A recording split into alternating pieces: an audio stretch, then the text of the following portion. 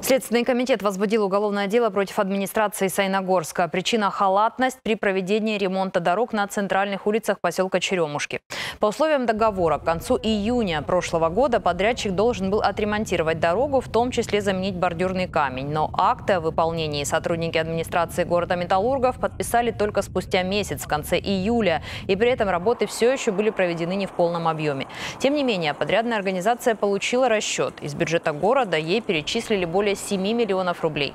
Следствие считает, что такие действия неустановленных пока сотрудников администрации Сайногорска нанесли ущерб более 3,5 миллионов рублей. Возбуждено уголовное дело по статье «Халатность», наказание исправительной работы до одного года или штраф до 120 тысяч рублей.